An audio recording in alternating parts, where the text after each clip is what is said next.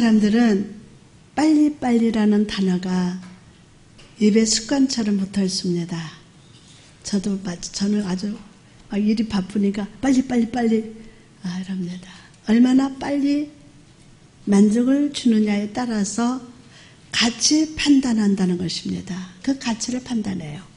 그러나 지혜로운 사람은 순간의 만족을 넘어서서 영원한 만족의 근원을 알고 그것을 내 것으로 소유하는 사람입니다.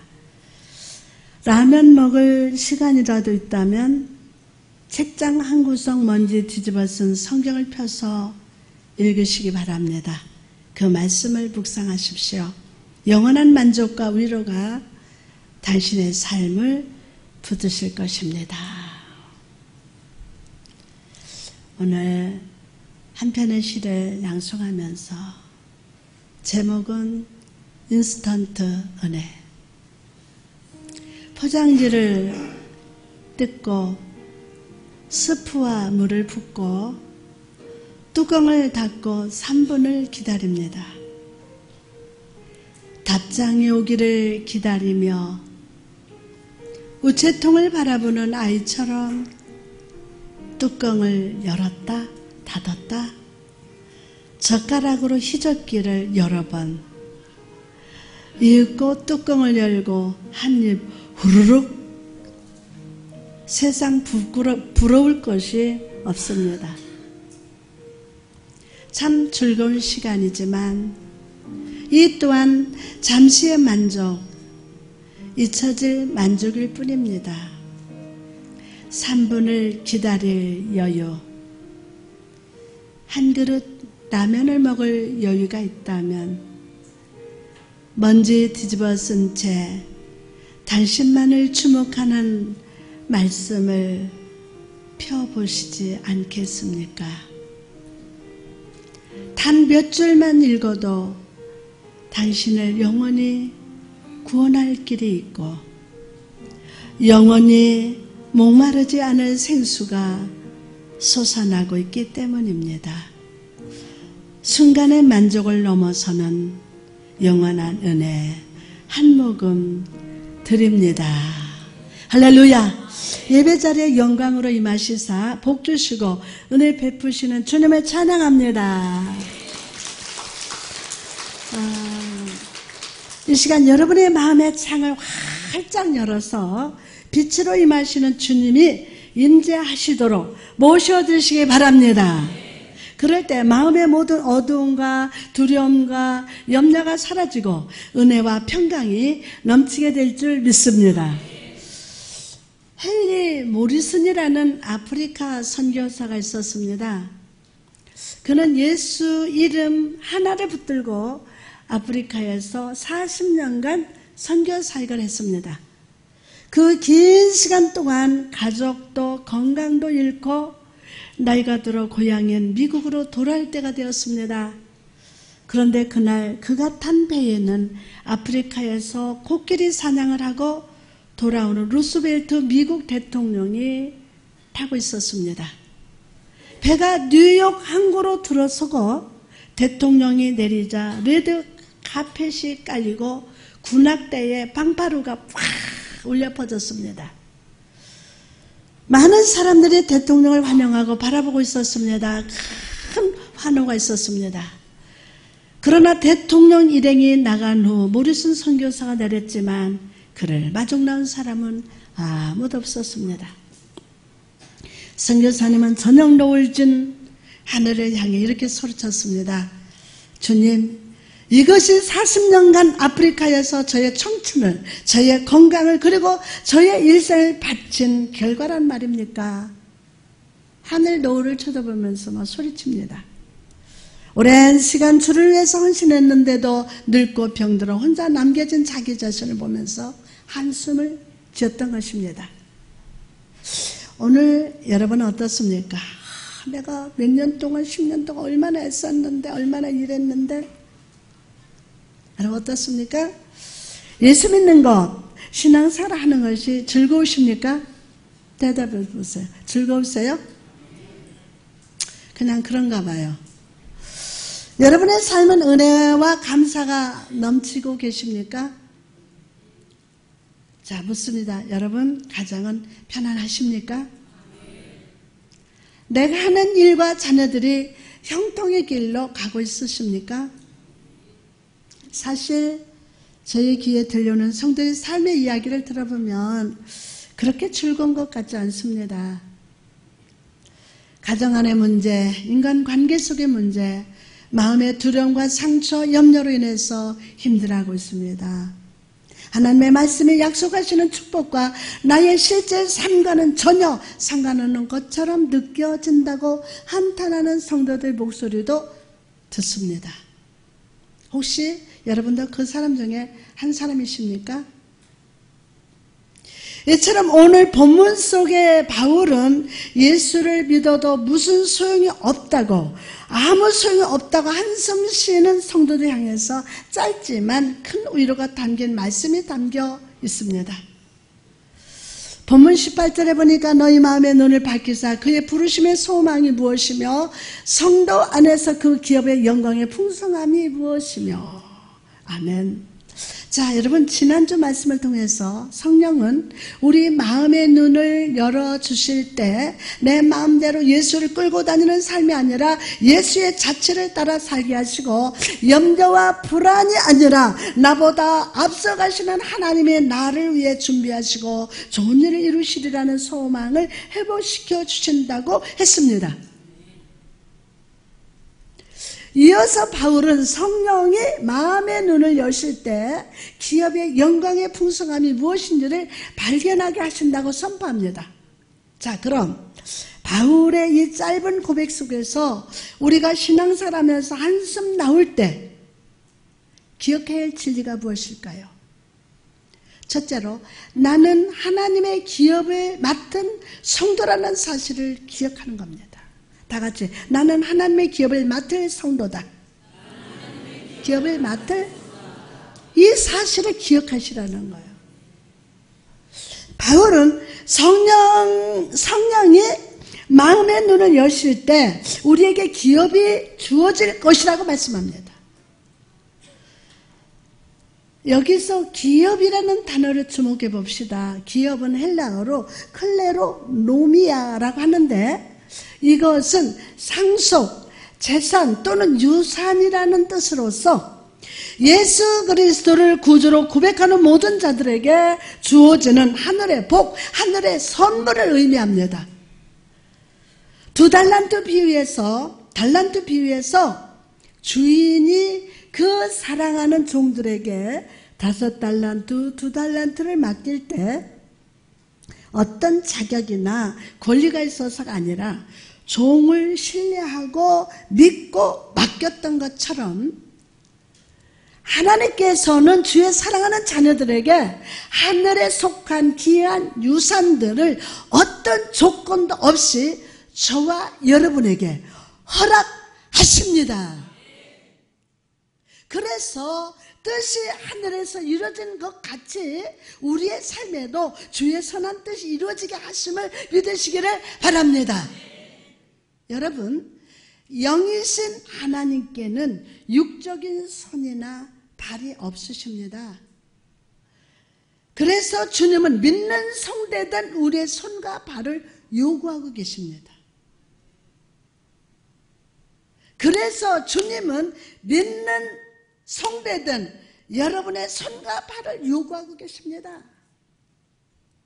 그래서 우리의 손과 발을 통해서 우리의 입술을 통해서 이 세상 속에 하나님의 사랑과 거룩하심과 은혜를 나타내기를 원하십니다. 시편 23편에 나타난 다윗의 고백을 떠올리시기 바랍니다. 그 하나님의 사랑과 은혜를 생각하면서 그 시의 마지막을 이렇게 고백합니다. 평생의 선하심과 인자하심이 반드시 나를 따르리니 내가 여호와의 집에 영원히 살리로다. 여러분 다윗이 그의 평생을 여호와 집에 거하겠다고 고백할 수 있었던 근거는 무엇입니까? 그가 하나님을 위해서 무엇을 했기 때문이 아닙니다. 오히려 하나님께서 그의 평생에 항상 모든 것을 베풀어 주셨기 때문이에요. 모든 것을. 다윗이 하나님을 떠나 있을 때도 하나님은 항상 변함없이 함께하고 계셨고 그의 평생의 목자가 되어 주시사 푸른 초장으로 인도하시고 영혼을 소생시켜 주시면서 지팡이와 막대기로 안내해 주셨기 때문이에요. 다윗을 죽이려는 사울의 칼날 앞에서도 함께 하시사 원수의 목전에서 구원과 은혜의 상을 차려주시며 그의 평생의 선하심과 안전심으로 함께 주셨음을 믿으시기를 바랍니다. 여러분 이 다윗의 평생에 함께 하신 하나님께서 여러분의 하나님의 있음을 믿으시기 바랍니다. 예수 그리스도를 구주로 고백하는 여러분의 목자가 되어 주시며 선하신 간자심으로 오늘도 함께 하심을 믿읍시다. 할렐루야. 그러면 매일 주일 말씀을 통하여 여러분 각 사람의 영혼을 소생시켜 주시고 악한 원수 앞에서 내 상을 차려주고 계심을 오늘 또 믿읍시다. 그렇다면 오늘 이 하나님께 여러분의 손과 발과 입술, 삶 전체를 들으시기 바랍니다. 뜻이 하늘에서 이루어진 것 같이 하나님의 기업이 여러분의 손과 발을 통해서 이루어지도록 주님께 드리기를 축원합니다. 이 말이 사실이라면 우리는 한 가지 질문에 직면하게 됩니다. 하나님의 선하신 관자심에 나와 함께 하시는데 왜 내 삶에 이런 힘든 고난과 시험이 있는 것입니까? 우리 교회는 왜 그렇습니까? 라고 질문합니다.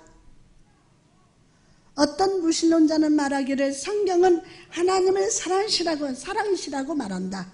그러나 이 세상에 일어나는 재난, 살인, 질병, 고통을 보면 하나님은 폭력적인 존재임이 틀림없다. 무신론자가 이렇게 말했어요.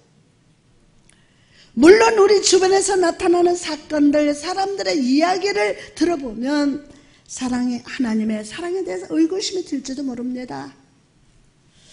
그러나 여러분 삶 속에 일어나는 사건을 통해서 하나님을 판단하고 이해하려는 것은 어린아이의 신앙, 마음의 눈이 어둡다는 증거임을 아십니까? 성령을 통해서 마음의 눈이 떠진 사람은 어떤 사람이라고 했습니까? 어둠 속에서도 하나님의 얼굴빛을 바라보며 하나님 반드시 선한 일을 이루실 것을 믿는 확신으로 살아간다고 했습니다. 그렇다면 여러분 우리가 성령으로 인하여 마음의 눈이 떠진 자라면 고난 중에서도 시험 속에서도 하나님의 선하심을 확신하고 믿읍시다. 할렐루야.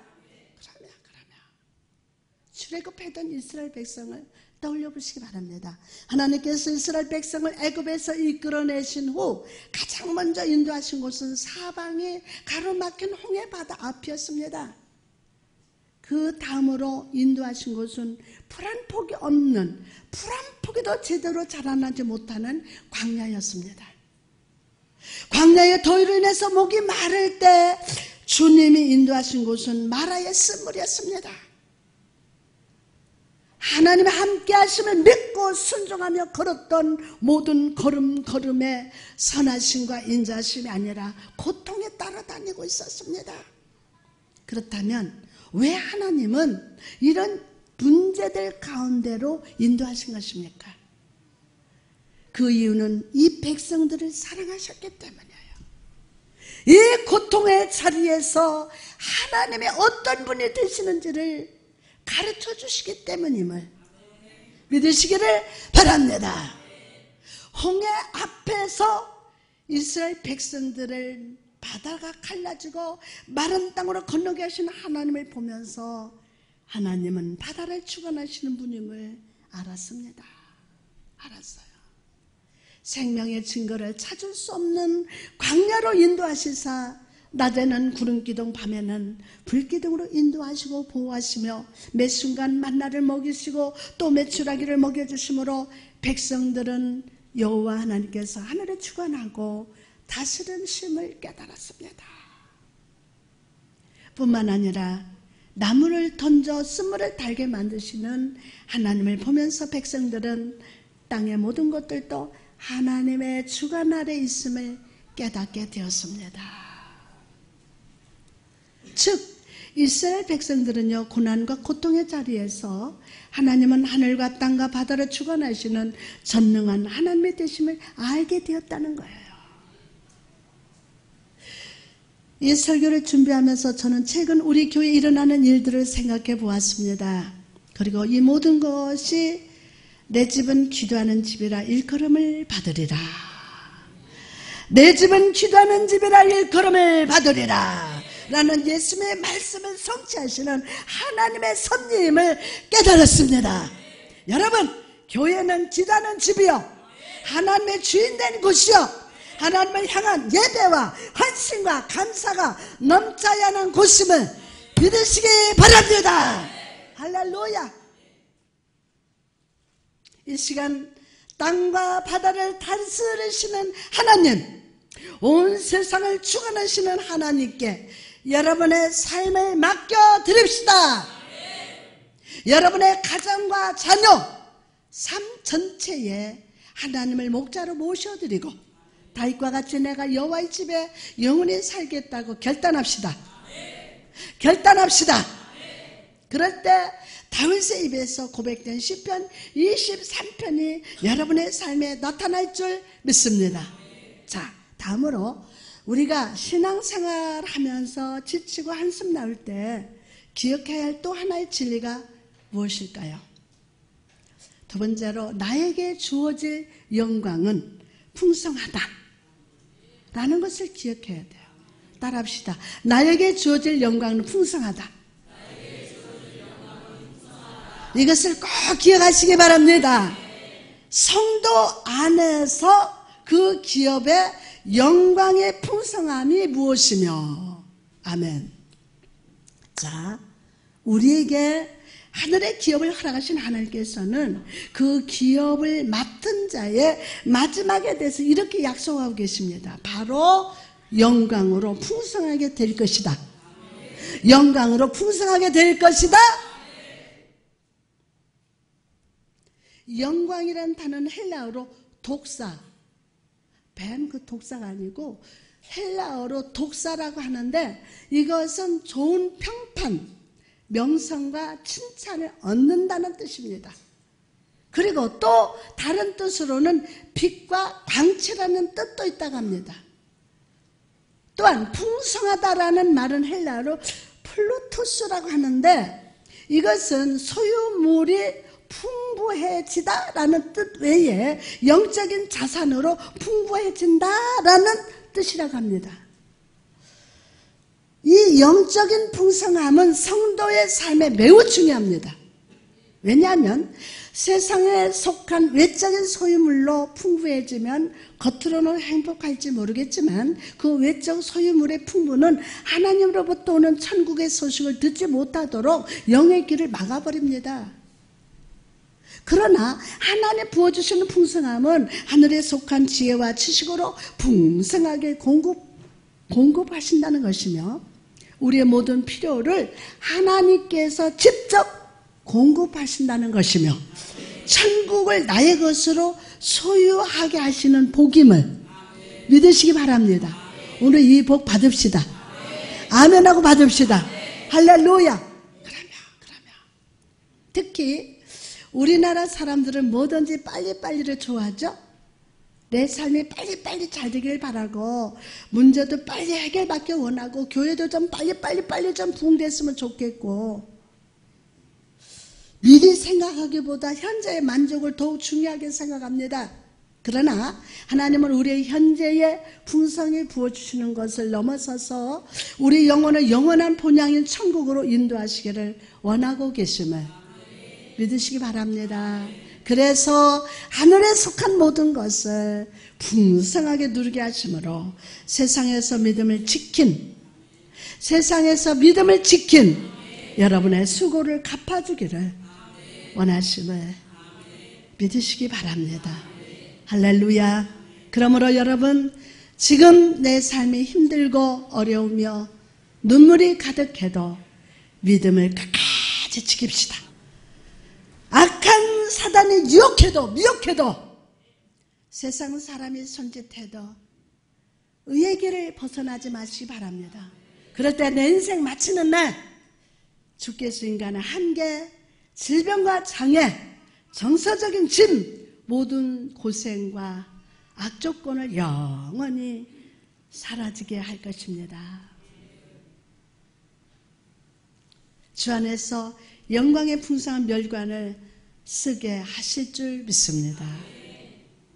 그러므로 여러분, 오늘부터 상황과 환경에 매달리는 삶의 길에서 돌이켜 빛으로 인도하시는 예수 그리스도를 따라 매일을 살아가시기를 축원합니다.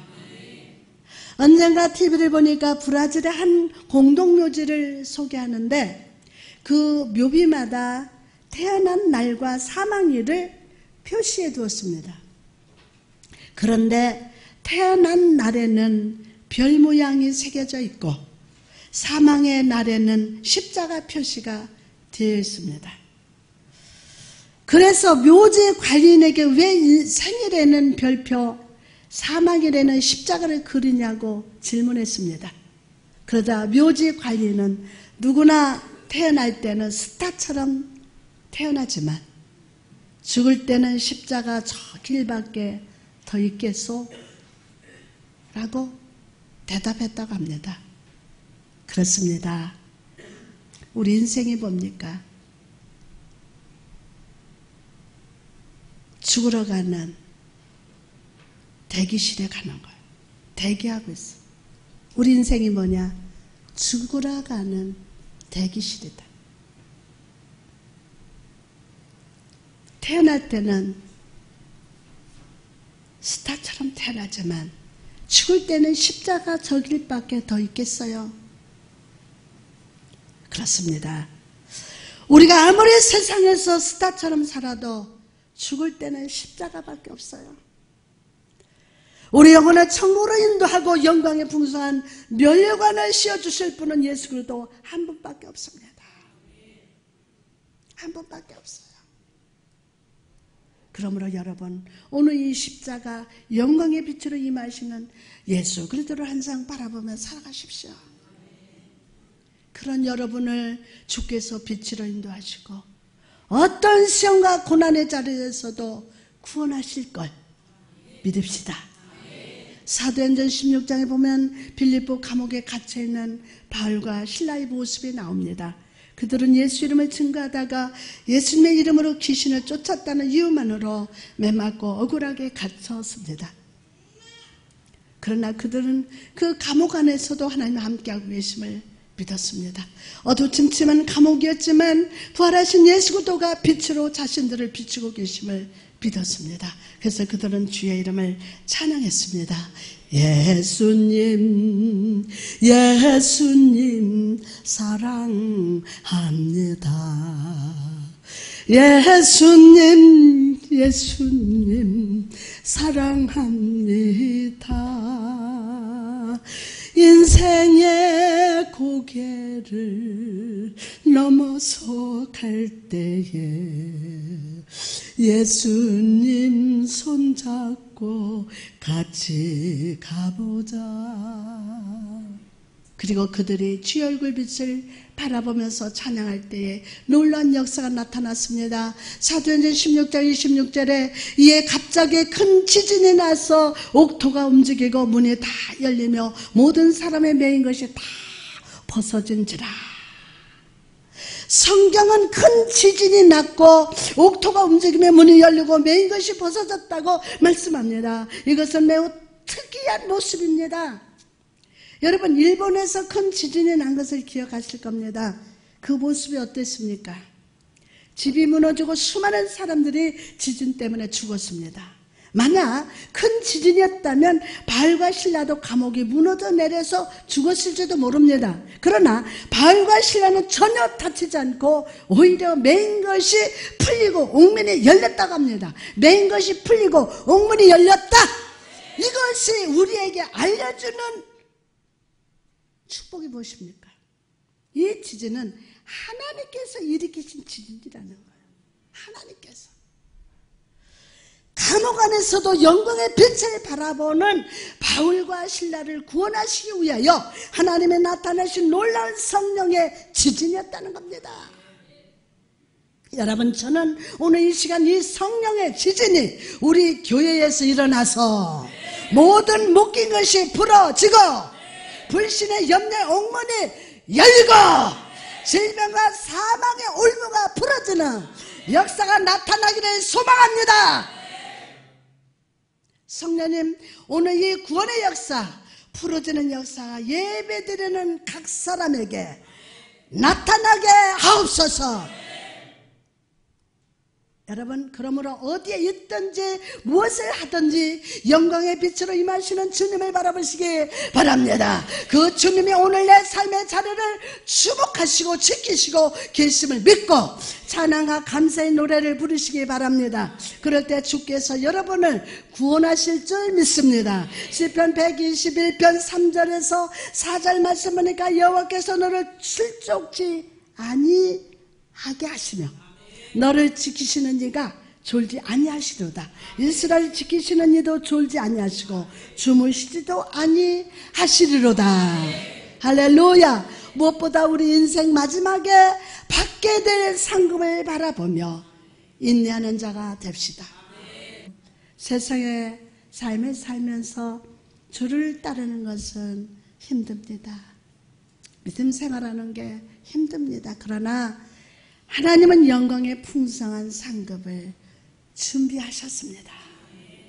믿음으로 하면 합시다. 오늘날 세상의 사람들은 인생의 목적이 불분명합니다. 영적 확신도 불분명합니다. 하나님에 대한 지식은 많지만 깊이가 깊지 못하고 경험이 깊지 못한 채 살아갑니다. 저는 여러분 모두가 성경 지식이 아니라 하나님을 인격적으로 알되 깊이 알아가기를 축복합니다. 몸은 교회에 있으나 마음은 세상에 있는 자가 아니라 몸과 마음과 전 존재에 주님을 왕으로 모셔드시기를 축복합니다. 그럴 때 주님께서 여러분의 모든 순간순간에 은혜로 지키시고 인생 마치는 날 잘했다. 착하고 충성된 정아 칭찬하시며 영광의 멸류관에 멸류관을 씌워주실 줄 믿습니다.